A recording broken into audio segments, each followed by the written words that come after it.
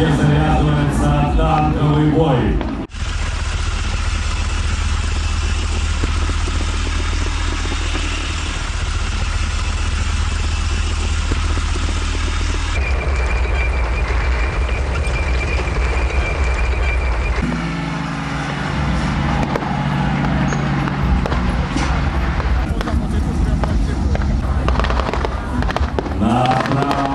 Thank you. Красной Армии.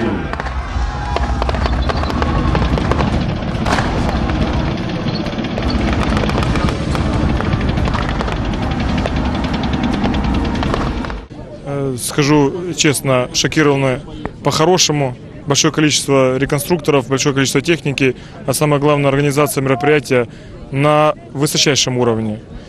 Видим здесь реконструкторов не только с Украины, а и с ближнего дальнего зарубежья, что говорит о том, что память о Великой Отечественной войн- войне живет, э, и память о героях, наверное, еще будет десятки и уверен, десятки лет жить в сердцах э, таких, как мы, ребят, и э, людей, которые, может быть, далеки от поиска реконструкции, но все же помнят о тех годах и о победах, греческой победе своих отцов и дедов.